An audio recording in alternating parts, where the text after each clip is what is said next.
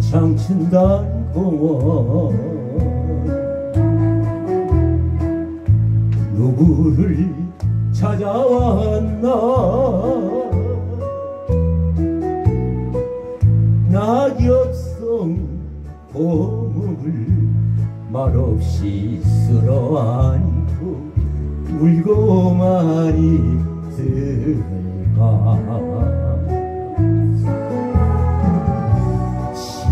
날이 자리에 새긴 그 이름 누려시 남은 이 글씨 다시 한번 어루만지며